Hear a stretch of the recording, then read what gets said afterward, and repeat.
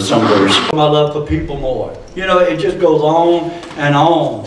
And so you could just take that one word, but it's what you get out of it is what's going to be important.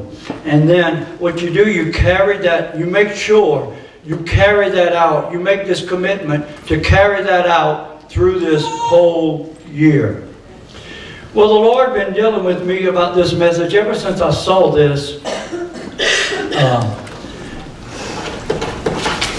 uh, actually, I heard a preacher talking about this, and it just, I mean, it just, it just gripped me. And we're going to talk about this this morning. And you see, I have an example up here. I have a piece of laminate. Okay, first of all, let's look at the word laminate to see what the word laminate. And I had asked you to look up the definition of laminin, if you would. What does what does, what does laminin mean? Okay, so and it comes from. Does it? Do we have it up there? Nobody. Nobody put it. She didn't put it. Okay, we didn't put it. Okay, a laminate is to unite by an adhesive or some other means. Okay, this is what we call laminate flooring. And again, you have to take the natural things if you're going to relate a spiritual message. Jesus always took the natural to relate a spiritual message unto us. Because see, God doesn't need this, but we do. We're humans.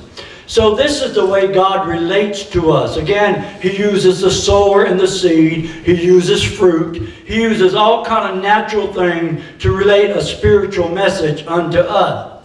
Now, He didn't use laminate floor nowhere in the Word of God because, again, this is a new thing here that, that has been made in our time. So I'm going to take something, you know, of our times and, and I'm going to relate a spiritual uh, message out of that through the Word of God.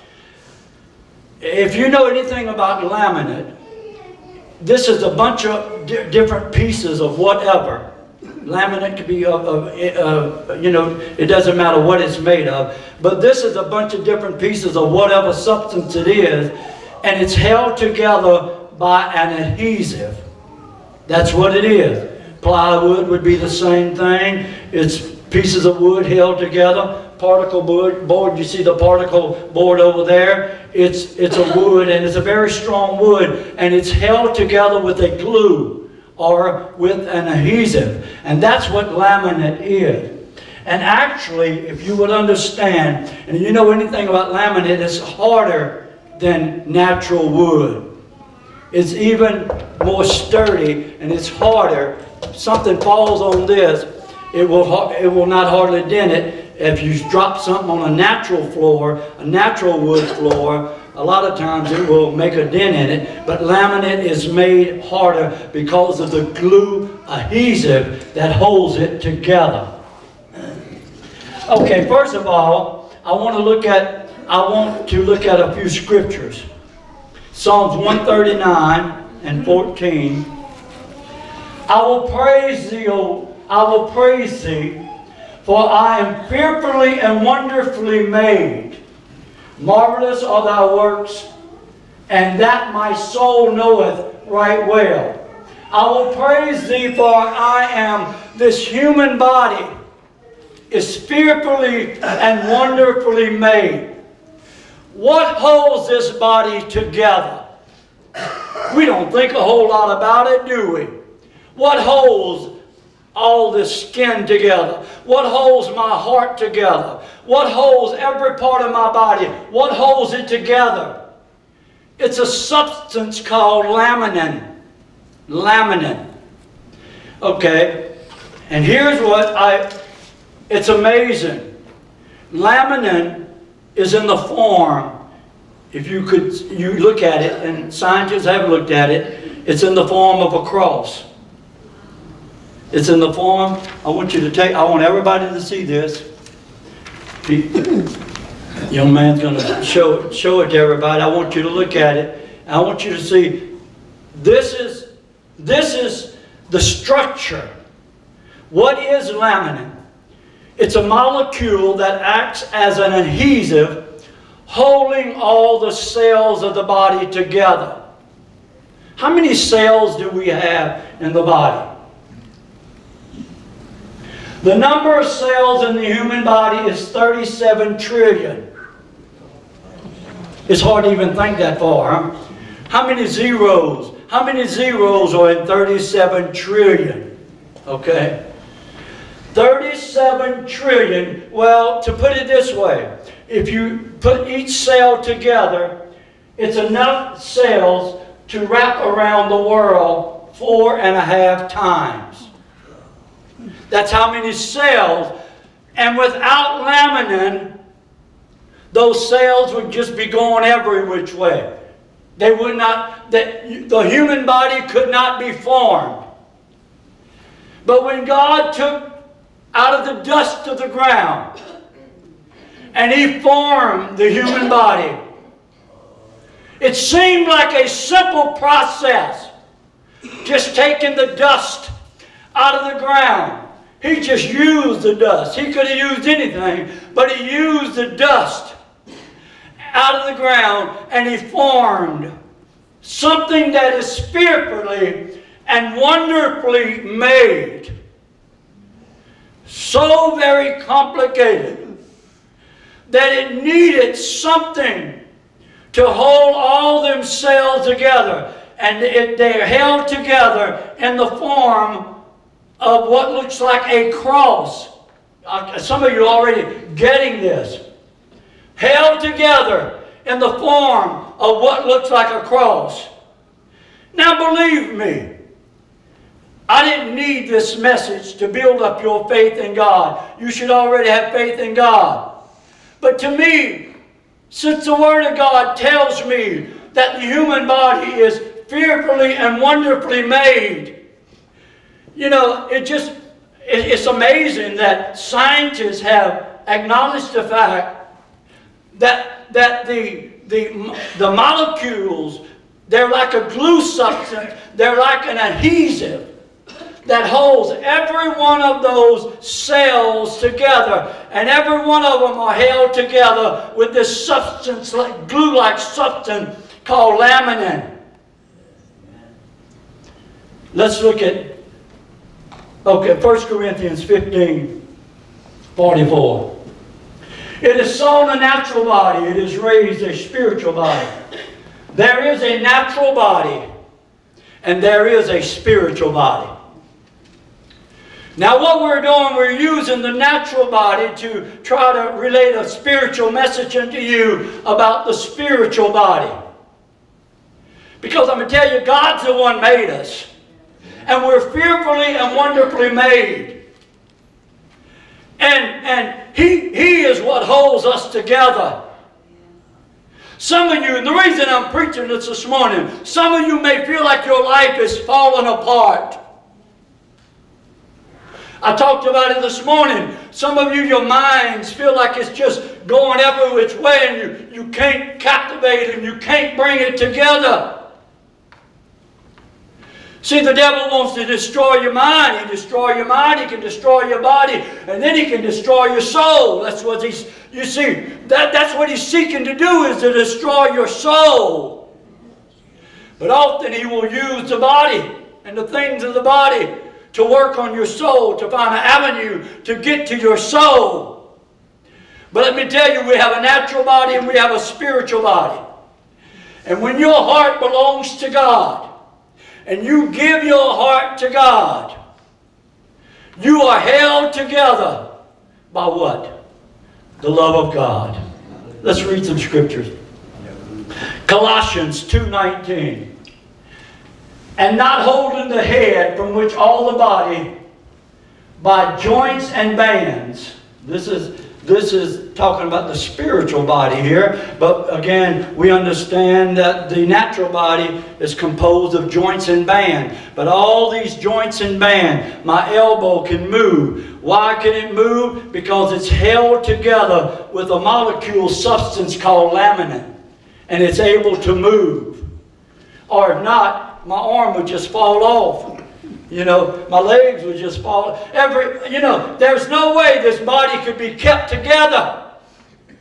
And I, and, and I want you to get this message this morning. God's going to keep you together. God's going to keep you together. Even though it might seem like your world is falling apart, and it may like seem like everything around you is falling apart, if you have your faith in God and faith in that old rugged cross, uh, you're going to stay together and you're going to make it. And not holding the head from which all the body, by joints and bands, having nourishment and ministered and knit together, knit together, or held together, increased with. We know what we've seen knitting before, right? Stitch after stitch, and you knit something together, and and uh, some of you have sweaters on that's knitted together. You try to pull that. You try to pull that apart.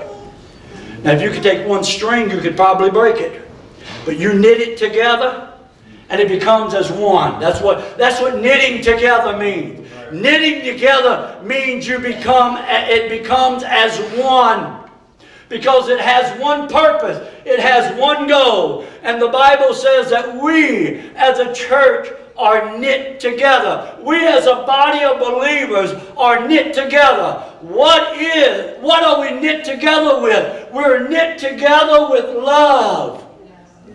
By this shall they know my disciples by their love. Brother Ralph, I don't want to hear about love anymore. Well, you don't want to hear about God then. If you don't want to hear about love, then, then you're in the wrong place because the Bible says, and we'll read that scripture, God is love. Everybody say, God is love. So, so all these joints and bands have a nourishment, and ministering and knit together. And you see, because of that substance called laminin, that, that glue-like substance that holds everything together, it allows nourishment and blood to flow throughout the body. If it wasn't for that, if it wasn't for that laminin, then the blood would just pour out. It would just go. But it's held together. Your, all your blood vessels, all your, your arteries, and all this is held together by that substance called laminin. And again, if you looked at it, we can't see it with the natural eye naturally. But scientists has narrowed it down to the fact that it can and it does come in the form and the shape of a cross. You can pull it up on the internet, and it, it's not that precise as far as just like this but it has the shape of a cross. Pull it up and look at it. It's very interesting.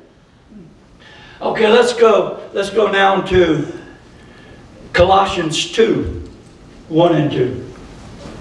For I would that you knew what great conflict I have for you, and for all for them at Laodicea, and for as many as have not seen my face in the flesh.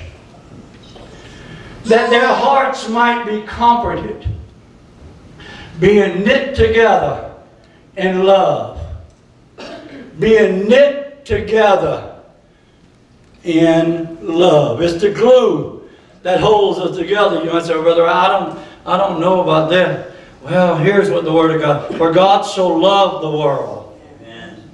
that He gave His only begotten Son. It was because of love that there is a cross. And I'm going to tell you, it wasn't the nails that held him on the cross. It was love that held him on the cross. And it's that cross and the, everything that that cross represents, the love of God through that cross that's going to hold you together in a world that is falling apart. in an economy that may go down and, and crash, it's going to be God that's going to hold you together in a world that your mind, Satan has come with tormenting thoughts. Surely dealt with them if you're old enough. And I'm going to tell you what, even children are not exempt. Even youth are not exempt from tormenting thoughts coming against you. And though the outward man perish, that inward man That, that's where it abides, with inside of us. So everything may be going wrong, wrong in your life. Everything may, you know, it, it may be in turmoil in your life. And again, it may seem like your world is just falling apart. This is happening and that's happening, and you say, if it's not one thing, it's another. But none of those things can affect what's inside of your heart. The love of God still abides. It still abides. 1 Corinthians 1.18 For the preaching of the cross is to them that perish foolishness, but unto us which are saved it is the power. It is the laminin. It is that glue, strong substance that holds us together, that keeps us from falling apart. And when we give our hearts to God, it becomes the power. The preaching of the cross becomes the power of God to us. What is the preaching of the cross? The preaching of the cross is for God so loved the world that he gave, for God so loved. Again, love is that glue that holds us together, that binds us together. Not only just, you know, we're, we're knit together. And I'm going to tell you what, it's a strong, love is a strong substance. If you can look at it like that. Love is a strong substance. There's nothing more greater than the love of God. The natural love that we talk about can come and go. But the love of God, you really and truly, you get the love of God inside of you, it's going to keep you through the storms of life. It's going to keep you when everything around you is raging. The love of God is going to sustain you, and the love of God is going to hold you together when it feels like you're losing your mind. Any of you have ever felt you go through things in life? Any of you have ever been to the place? Maybe uh, I'm only talking to a few this morning, but I doubt that. Uh, have you ever been in a place where it felt like you were losing your mind? Because the enemy comes in like a flood. But I'm going to tell you what, he can come in like a flood. But you got a glue-like substance called the love of God that's more powerful than the flood. Do you understand what this human body can sustain? Do you understand what the skin, you know, pull on it, pull on it. You know, you cut it and it grows back. I mean, you realize that just, just looking at the skin, not count, not count other organs of the body, but can you imagine? And it's kind of elastic. You know, it's, it's not tight. It's God knew all that. We are fearfully and wonderfully made. He knows exactly how to make us. And I'm going to tell you what. There's a natural body and there's a spiritual body. And our spiritual body is even much stronger than our natural body. Can you tell me why? Because this natural body is going to eventually grow old and cells are going to die in this natural body. And one day they're going to place us all in a casket. And we're all going to die. But the, the, the, the inward man, this natural body, is going to go back to the dust of the earth. But this, this, this, this new body, the, the inward man, the soul of man, is going to live for eternity, you see. And it's held together by the love of God. 1 John 4, this is what I was talking about earlier. 1 John 4, 16, and we have known and believe. Everybody said, we have known. I know. I know. Nobody can tell me any different. I know Devil, you can come and try to give me another story. You can come and try to tell me something else, but I already know and I have already believed the love that God hath to us is strong. God's not going to forsake you. He's not going to, I don't care what you're going through this morning. Some of you may be going through some dark places. Some of you may be in the storm, and all you can see is darkness, darkness, darkness. And you may not be able to see a light at the end of the tunnel. But I'm going to tell you what this love is going to do to you. This love is going to carry you through. He leadeth me through. Though I walk through the valley of the shadow of death, how can I go through this trial? Why can I go through this trial? It's because of the love of God that is inside of me. I can't make it by myself. But with that love, I can make it. And we know we, and we have known and believed the love that God has to us. God is love. So if you're tired of me preaching on love, you have to find you another church. Because He is love. Oh, don't get me wrong. I'll preach about the wrath of God because I preach the whole counsel of God. But I'm telling you, God is love. It's not God's desire that anybody goes to hell. God is showing His love to everybody. If you go to hell, it'll be on your own. It'll be your own fault if you go to hell because God has already made a way. If you want to be held together, all the way till you endure to the end till you get to heaven, you can do it with God's love. It's a substance that will hold you together. And he that dwelleth in love dwelleth in God, and God in him. Now, what we're talking about there is a godly love. Naturally, we're not talking about we're not talking about an erotic love, or we're not talking about even a phileo love, which is a friendly love. And erotic love, eros, is another type of love, like a love between a man and a woman. That's not the kind of love that we're talking about. We're talking about a deep down love of God. This is how they tell. Okay. Herein is our love made perfect, that we may have boldness in that day of judgment. Because as He is, so are we in this world. That's a powerful statement. Herein is our love made perfect. That kind of love that we're talking about.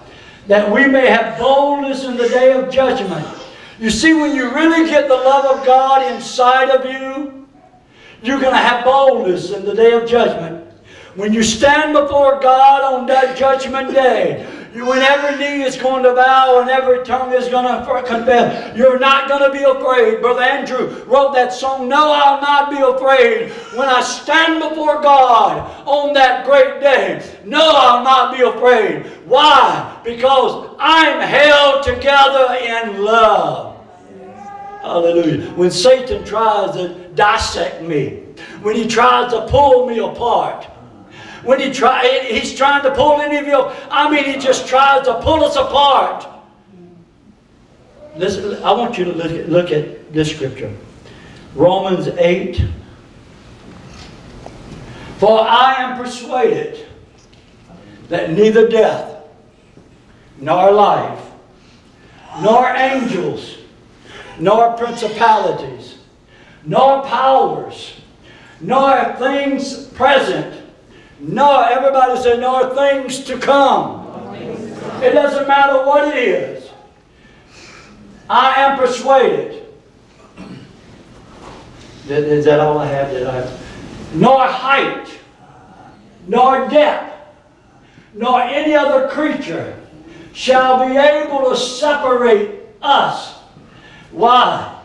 Because this is held together with a natural glue, naturally, natural is not as powerful as spiritual, but again, we have a natural body, we have a spiritual body. So I use this in relation to the natural body, but I'm also use it in relation to the spiritual body.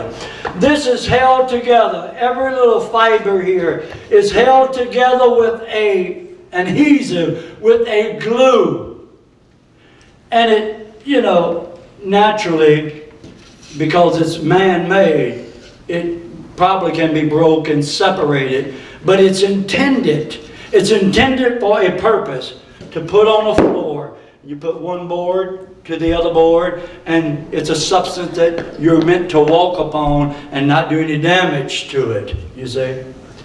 Well, I, and, and in spiritually speaking, again, how many know the spiritual is stronger than the natural? Because again, we were, we, we were sown in a natural body, but we're going to be raised a spiritual body. So there is a natural body and there is a spiritual body. Okay, but how many understands this natural body, though powerful as it may be, though as strong as it may be? How many of you, you're young? You don't know what it is hardly get bruises and those bruises last. They hardly last. They go right away. But when you get older, your skin gets a lot, you know, it, it, become, it becomes thinner. And, and you know, it, it just, and that's why, and you start getting wrinkles. You start getting old. And you start wrinkling up. How many know spiritually we're not wrinkling up? Spiritually, I'm not getting old. Though the outward man perish, the inward man is what? Renewed. In other words, I'm not going to ever get any wrinkles. This outward man's going to get wrinkles, it's going to get old, and it's going to slowly decay until finally it, it dies. And all the cells in the body that was held together with that glue-like substance is going to decay. But that inward man, because of the cross and because of what Jesus did at Calvary, I am going to live forever and ever. Though the skin worms destroy my flesh, Job said, though the skin worm destroy my flesh, it was built strong, and the body was built a very powerful thing, but yet it is going to decay. But that inward man, though the skin worms destroy my flesh, yet in my flesh, he's going to give me a new body. Let me tell you something about that new body he gives you. It's not ever going to grow old. It's not ever going to decay. It's not ever going to get a wrinkle. You are going to live for 10 trillion years, uh, and then life has just begun. I can't fathom that, Brother Ralph. I, I can't grasp that. So though the outward man perish, even though it is constructed in such a strong fashion. You know, I often think, how in the world can my skin withstand so much? How can my heart withstand so much? You know, you realize how many times your heart is pumping? I don't know. I don't know the statistics on this, but your heart pumps so many times a minute. Anybody know? Your heart can pump so many times a minute. And you realize how much blood is flowing throughout your body, constantly flowing throughout your body. Your body can withstand a whole lot because it was fearfully and wonderfully made, but it was not made to live forever.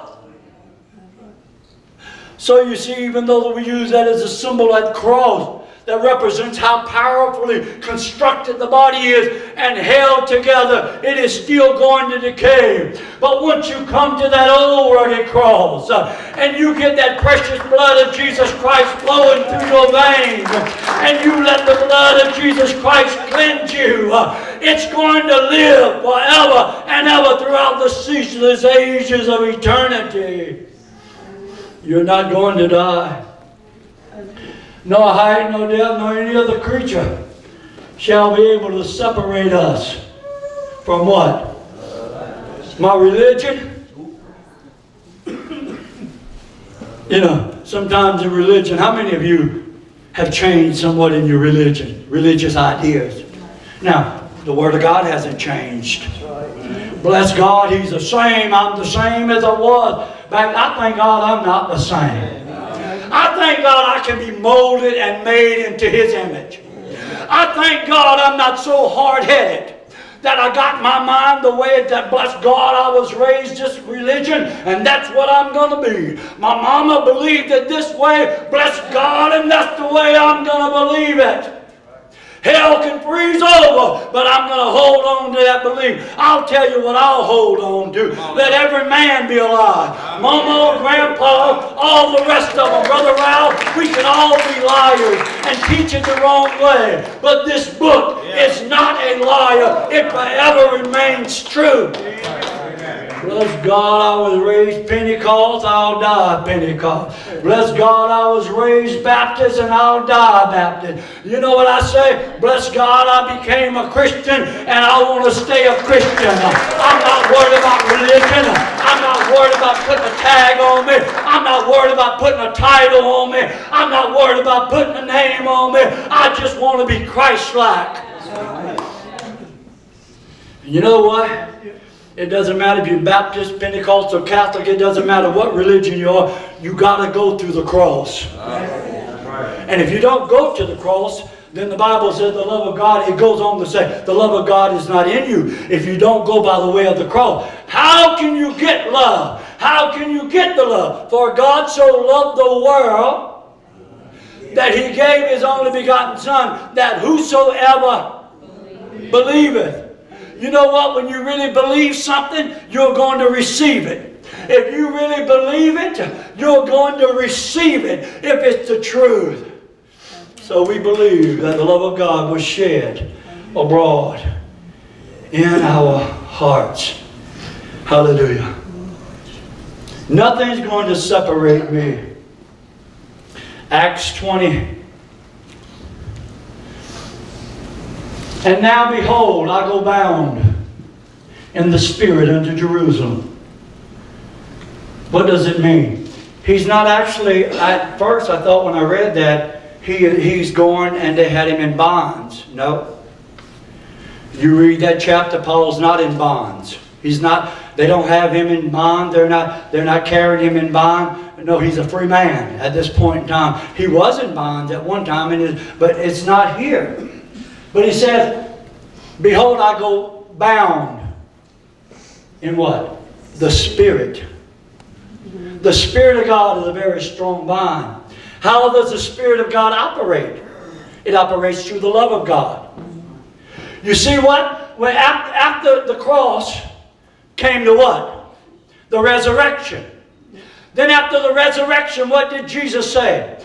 He would send us the Comforter, which is the Holy Ghost the Spirit of God that would do what? It would live and abide within us. So here Paul is going bound in the Spirit unto Jerusalem.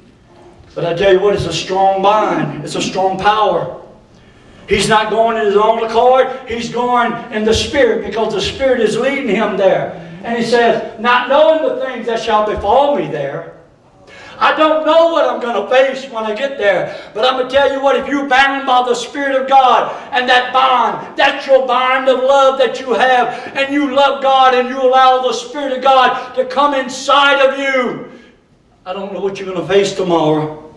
I'd like to say that all of us, boy, you're going to face sunshine. But how many has awakened to face a storm? Yes. Any of you faced a storm in your life? Any of you faced the black, dark clouds with the raging sea?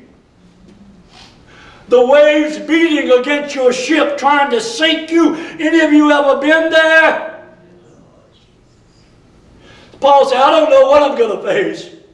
But he, uh, he made that statement. I am persuaded nothing will separate me from God because I got that glue.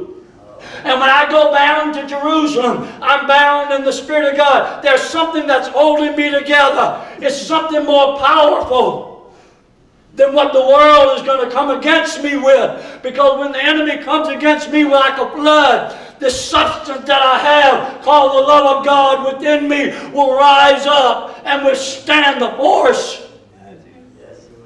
Let me tell you what. Again, this natural body Again, it's human, and we use this as an illustration.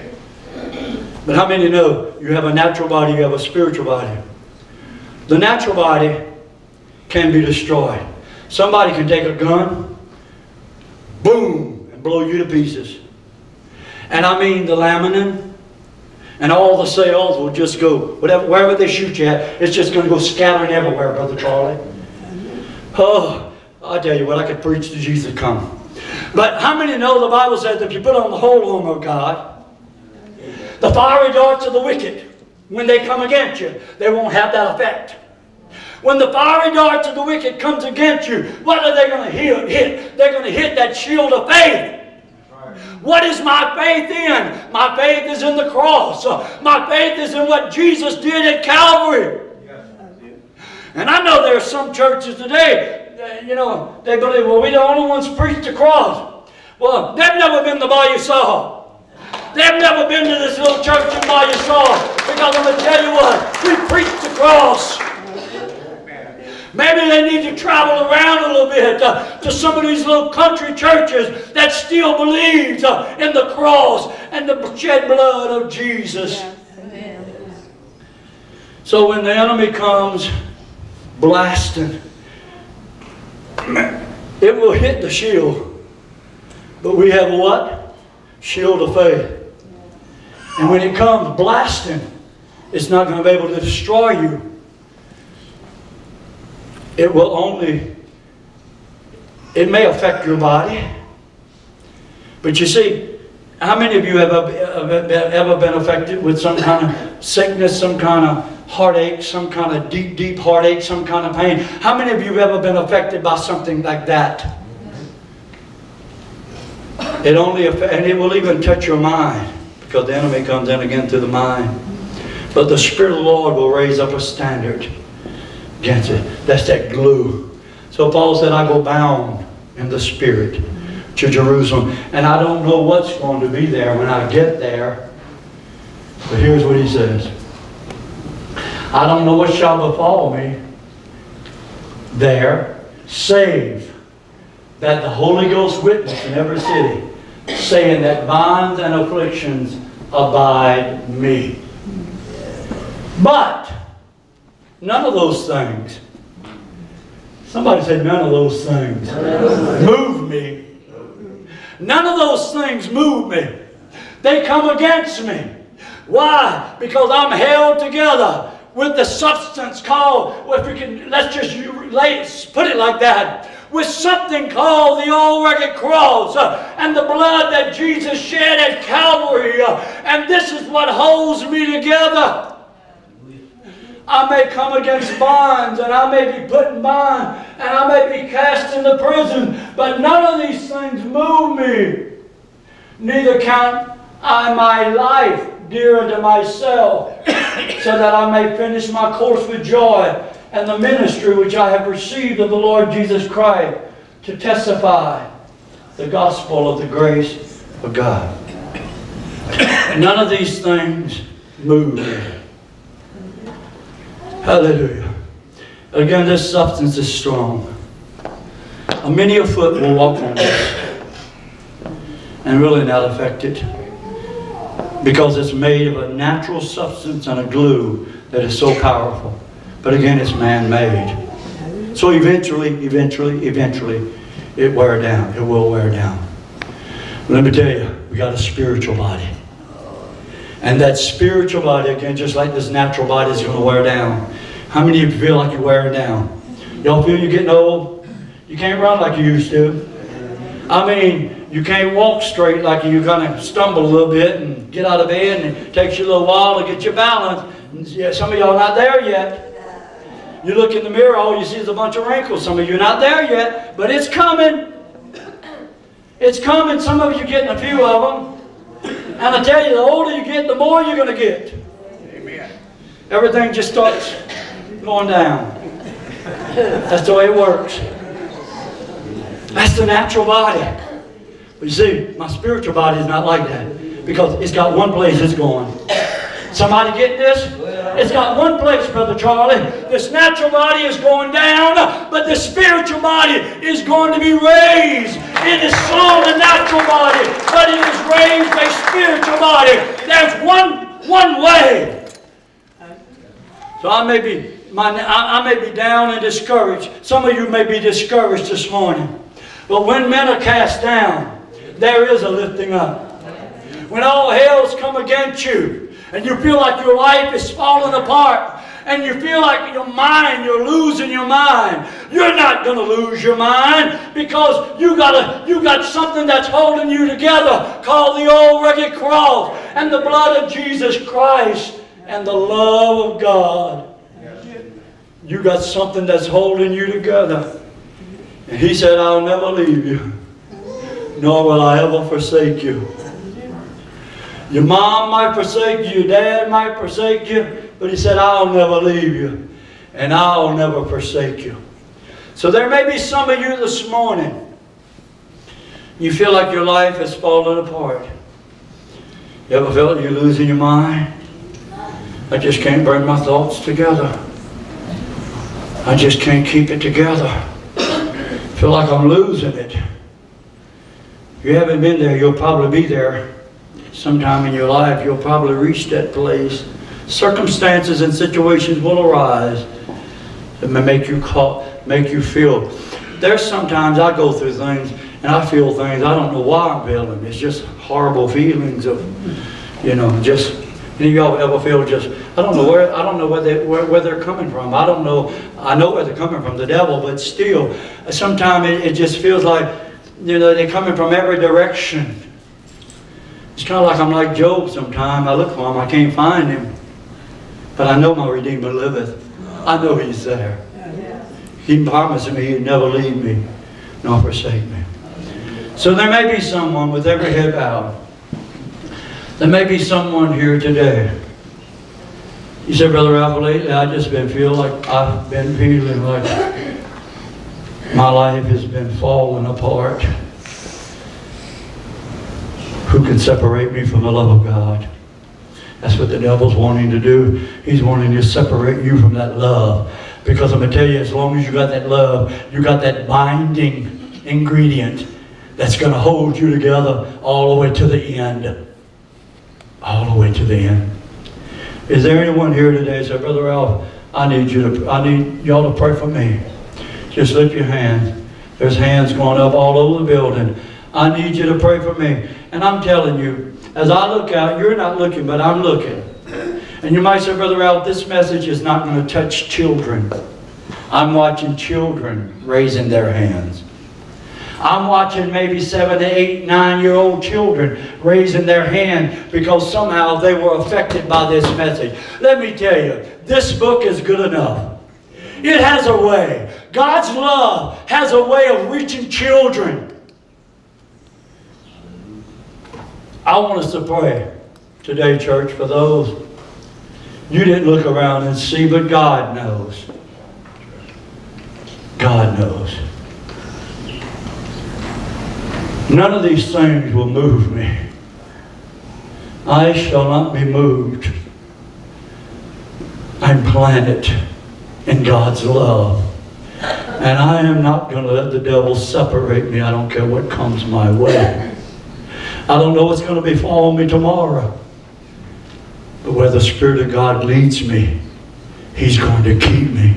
Heavenly Father, we thank you for your words that you have spoken today. We thank you, Lord, for your anointing. We ask, oh God, that the words that this congregation heard today, that each individual will take that which is intended for them and they will apply it to their life. And the thoughts of your word that was given out to us today, they have an expected end an end result. And I pray, God, that these thoughts would become more than just thoughts that enter into our mind, but God, it would go down into our hearts and accomplish that goal that you so desire, because it must enter into our hearts to accomplish that goal that you so desire it to have in our life. In Jesus' name. I wonder if all of us can say,